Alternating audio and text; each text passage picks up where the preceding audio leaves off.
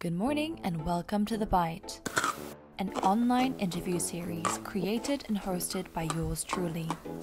The tech industry leaves a bad taste in people's mouths, so bite by bite, we're rebuilding the appetite for tech once again. At The Byte, we're about meals, not deals.